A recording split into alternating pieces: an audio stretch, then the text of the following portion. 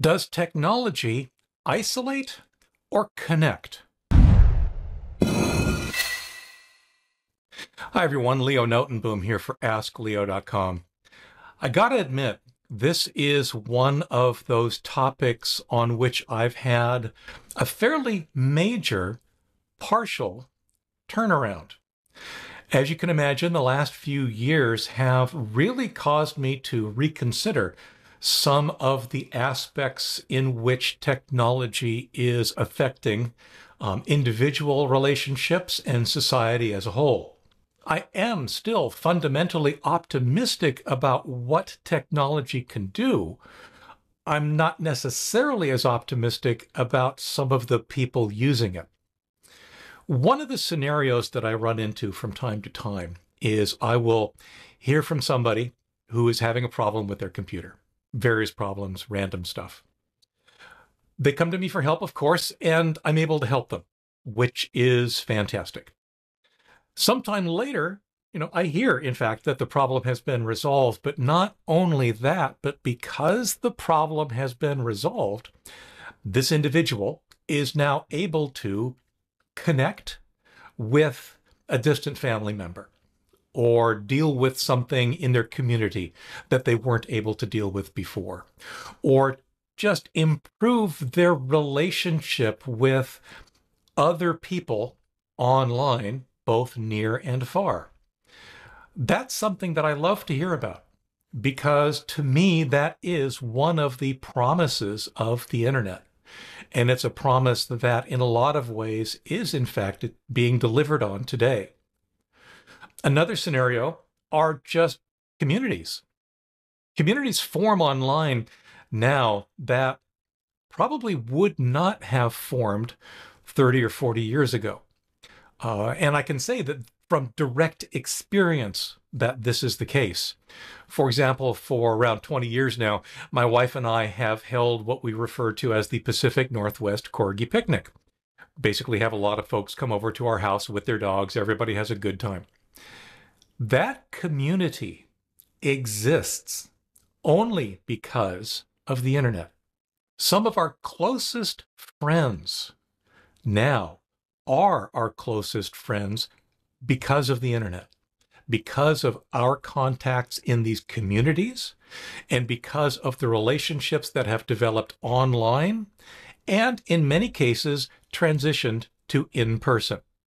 Yeah, there's a lot of stuff still happening online. We talk to these people almost every day online, but they've become our close friends.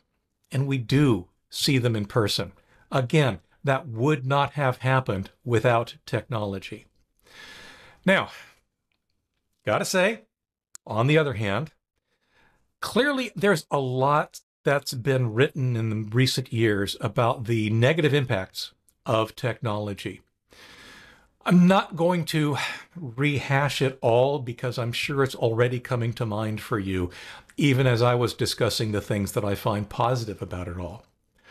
Social media probably is the biggest topic and the biggest bone of contention because of its ability, if you will, to, well, allow the wrong communities to form and allow those communities to express their ideas to a wider audience than ever, whether their ideas be uh, positive or abhorrent, whether their information is true or false. Yes, I get it. And ultimately, right now, I do not have a solution for that. Not something where I can wave some technological magic wand and make things better. What I do believe fundamentally is that the solution is not technology. The solution is people. Technology doesn't isolate people. People isolate people. The fact that we've been exposed to ideas that we find abhorrent, yeah, those kinds of things are going to cause us to distance ourselves from the source of those ideas. Depending on just exactly the severity of that difference of opinion, well, that's where a lot of this disconnection comes from. It has nothing to do with the technology and everything to do with the people involved. And yes, I know algorithms, etc., play into this, but fundamentally, this is a people problem, not really a technology problem. So, in light of the fact that this is a people problem, not a technology problem. In light of the fact that I don't really have a clue as to how to solve anything, what do I recommend? I recommend, honestly, that you get connected. Find your people. Learn the tools. Explore email, WhatsApp, Facebook Messenger, whatever tool makes sense, and potentially whatever tool your peers are working with to develop a stronger relationship with your people. Write an email rather than lamenting that nobody writes a letter anymore. Emails are letters, just delivered a different way. Trust me, whoever it is you are sending to will appreciate an email that contains everything a real letter would have, as long as it actually shows up, as long as you actually take the time to write it. Join an online discussion group or a meetup group or whatever about some of the things that you're interested in.